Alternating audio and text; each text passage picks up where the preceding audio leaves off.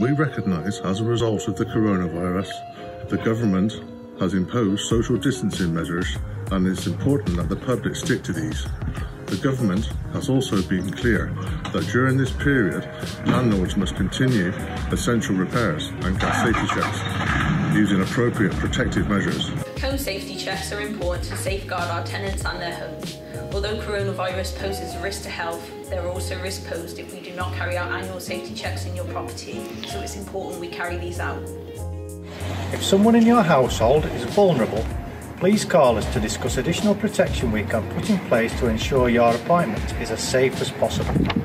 Speak to us if you or your, a member of your household is over 70 years old, pregnant, has underlying health issues which increase the risk from COVID-19 or are self-isolating due to COVID-19.